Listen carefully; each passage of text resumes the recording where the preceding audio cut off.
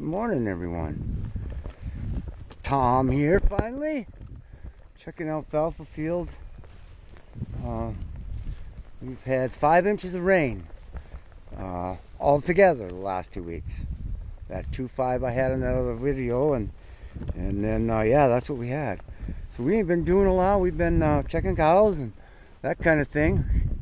Uh, one nice thing is we're going to be able to cut all 300 acres. And man, believe me when I tell you this stuff this year is worth its weight in gold.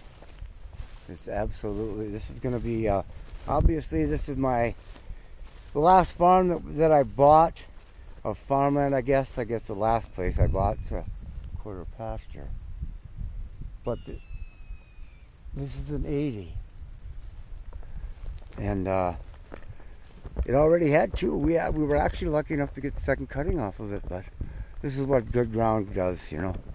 Uh, anyway, I'll make this short. Hope everybody's having a happy, safe Labor Day weekend. Uh, got a couple shout outs. Uh, I won't name names, but I could use a little of your guys' help.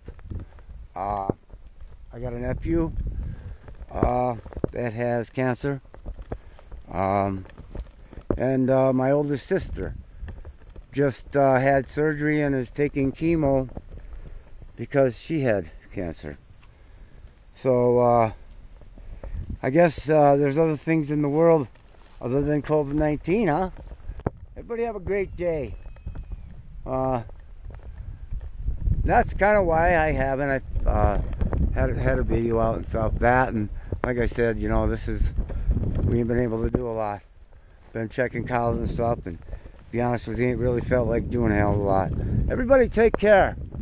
Uh, don't mind me.